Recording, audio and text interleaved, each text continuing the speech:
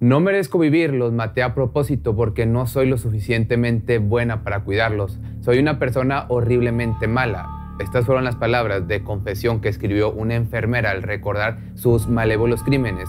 Una ola de homicidios en los que siete bebés recién nacidos y prematuros perdieron la vida y otros diez resultaron heridos.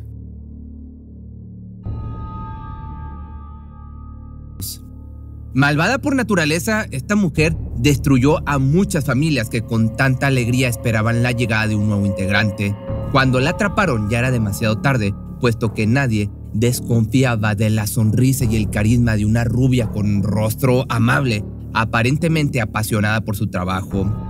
Pero todo se remonta al 8 de junio del año 2015, el trágico día que se convirtió en el primero de una alarmante lista de bebés fallecidos. Al interior del hospital inglés de Quarter of Chester, antes del ataque, se vivían momentos de angustia debido al nacimiento prematuro de unos gemelitos. Los padres sabían que existía una ligera posibilidad de que las cosas se complicaran un poco, pero mantenían su confianza en el personal médico encargado de llevar tanto el parto como los cuidados posteriores a los recién nacidos. Por cesárea y de tan solo 31 semanas, llegaron al mundo dos pequeñitos que denominaron como bebés A y B, y se les atribuyeron grandes esperanzas, pero que uno de ellos se convertiría en la primera víctima de la enfermera Lucy Ledby de 32 años. Con un peso de alrededor de 500 gramos, el bebé A, quien nació solo un minuto después que su hermana, fue llevado a la sala de cuidados intensivos de la unidad neonatal. Ahí se mantendrían en constante vigilancia a cargo de las enfermeras que llegaban a cubrir el turno nocturno. Finalmente, el ajetreo del día había terminado y los pasillos se encontraban más despejados y silenciosos. Fue entonces que con su uniforme de enfermera, Lucy inició sus labores. Tan pronto acudió a la sala intensiva, detectó el cunero del nuevo bebé quien solo media hora después de haber sido encargado con ella, tuvo que ser atendido de emergencia.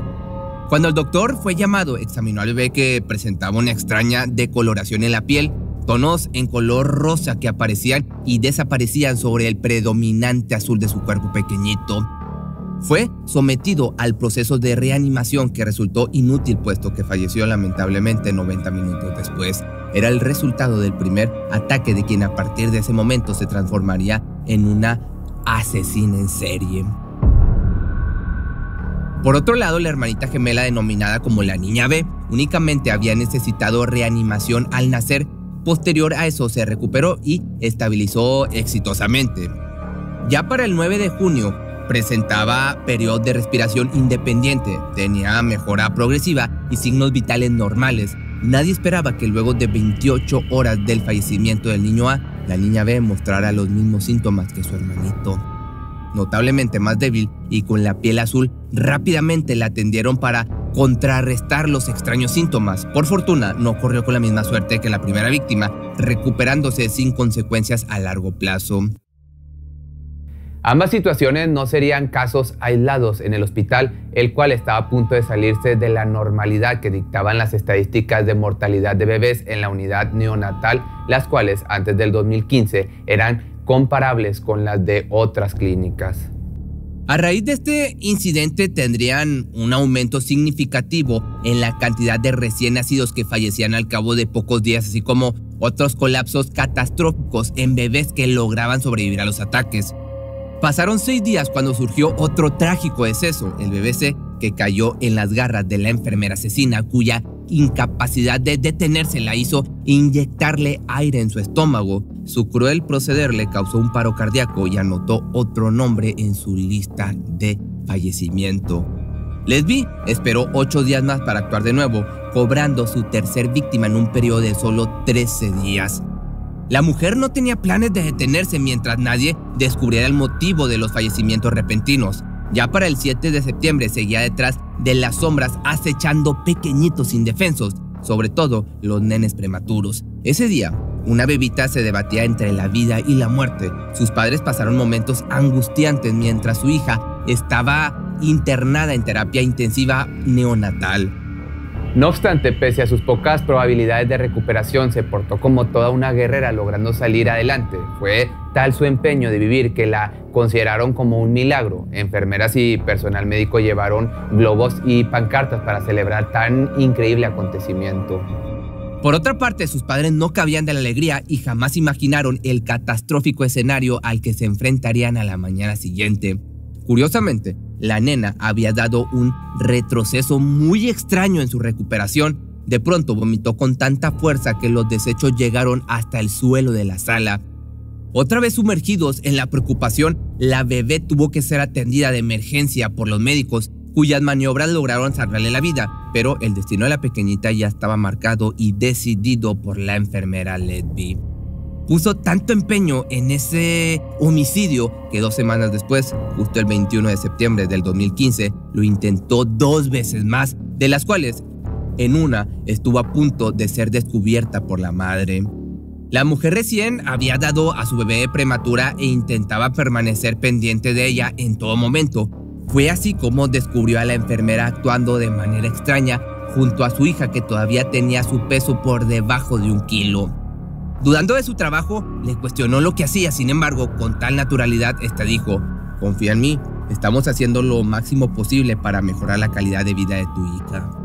Al tiempo que pronunciaba esas palabras, la tomó del brazo para caminar con ella, acompañándola hasta la puerta, sacándola de terapia intensiva. Al final de cuentas, resultaba muy difícil de creer que una enfermera tan carismática fuera capaz de semejante atrocidad, por lo que la beba cayó en sus garras poco después.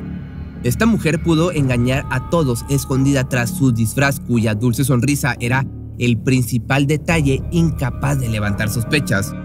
Pero déjame te cuento un poco de ella. Nació el 4 de enero de 1990 en la ciudad inglesa de Careford. Pronto descubrió su vocación y fue así que inició sus estudios como enfermera especializada en recién nacidos, recibiéndose en la Universidad de Chester. Posteriormente entró a trabajar al Hospital Inglés de Counter of Chester, donde su desempeño parecía profesional e incluso se podía ver lo mucho que lo disfrutaba. Prueba de esto fueron los posteos en sus redes sociales, cuyas fotografías muestran a una chica sonriente, alegre, tan despreocupada y segura de sí misma. Una joven que compartía con sus amigos la supuesta felicidad de convivir cada día con los niños que llegaban al mundo. Nadie pondría en duda su aparente dulzura. Sin embargo, le quitó la vida a siete bebés prematuros e intentó hacer lo mismo a otros diez. Incluso más de una vez atentó contra el mismo niño, de esta manera y conforme pasaba el tiempo, los decesos y síntomas similares que presentaban los recién nacidos de un día para otro comenzaron a aumentar considerablemente, despertando por fin la inquietud del personal médico.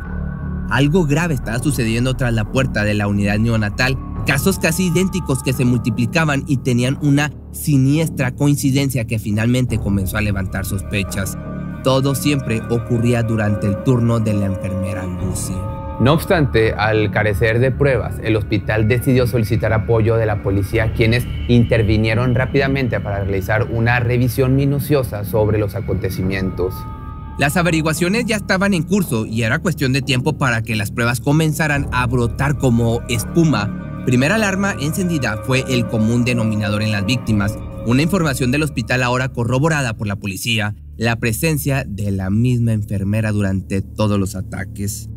Otra de las primeras informaciones en surgir señaló que durante el periodo que va de entre mediados del 2015 y mediados del 2016, alguien en la unidad neonatal envenenó deliberadamente a dos niños con insulina.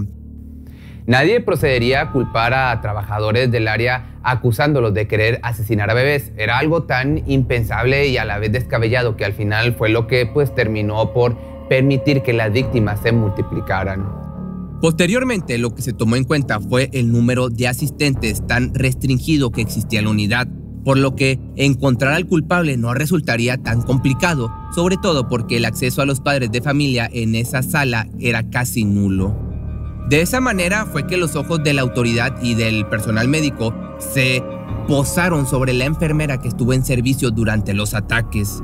No tardaron en recabar las pruebas suficientes para acusarla de asesinato y llevarla tras las rejas, Tan pronto se esparció la noticia, toda Inglaterra descargó su odio sobre ella esperando que la justicia se encargara de darle su merecido y brindarles algo de paz a los padres que perdieron a sus bebés recién nacidos solo por haberse cruzado en el camino de una mujer cuyos escrúpulos no tenían límites.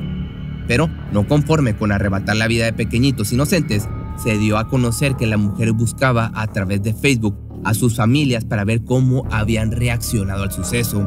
Sin duda, la enfermera pasaría muchos años en prisión.